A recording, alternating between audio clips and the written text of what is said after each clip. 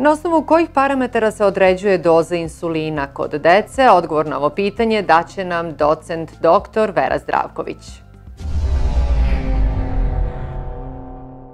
To je vrlo slično kao i kod dece koji imaju i koji nemaju diabetes. Danas smo mi svi, jel da, uopšte populacije, svi su gojazni i uopšte taj trend, jel da, smanjene aktivnosti e, pogađa kako decu sa diabetesom, tako i one koji nemaju diabetes.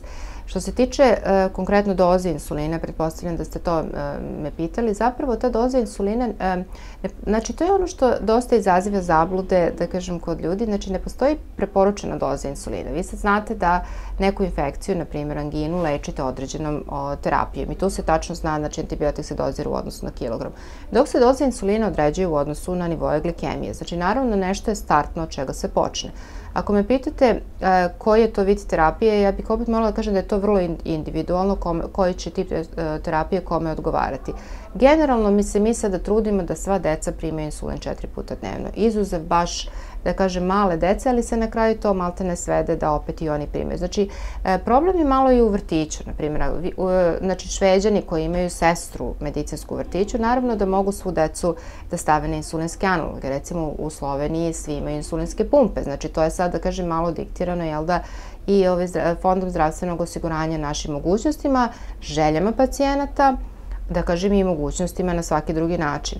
A, oni koji baš ne mogu da, o, da, da se nauče da, da vršite neke promene insulina, mi njima fiksiramo dozu.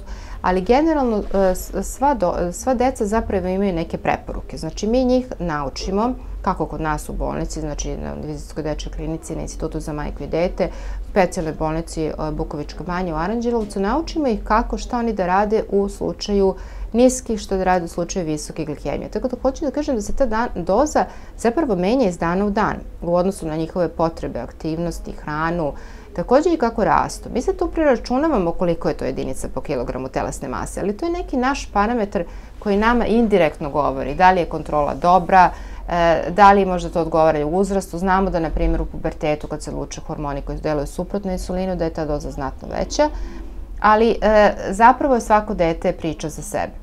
Tako da ne, ne bih mogla baš decidirano da vam kažem, e, znači to dete koje ima 90 kg, jel da, koje ste navili primjer, jel da 9 godina, to je svakako izuzito gozno dete za svaki životni uzrast.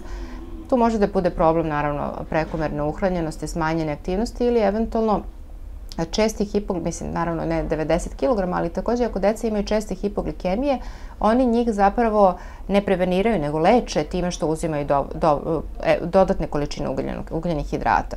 Mi bi zapravo želeli da preveniramo te hipoglikemije, znači padove ove nivoa e, glikemije, znači time što će doze biti stabilne, obroci stabilni, da zapravo dete ne bi moralo da unosi dodatne količine ugljenih hidrata. Ali, nažalost, nekada je to slučaj da neko ima česte hipoglikemije i da mora da jede više, pa me nekada dobije na težini. Takođe, ako ima neki drugi hormonski poremećaj, to, znači po, povećanje telesne mase zahte, zahteva eventualno dodatno ispitivanje i reviziju insulinske doze.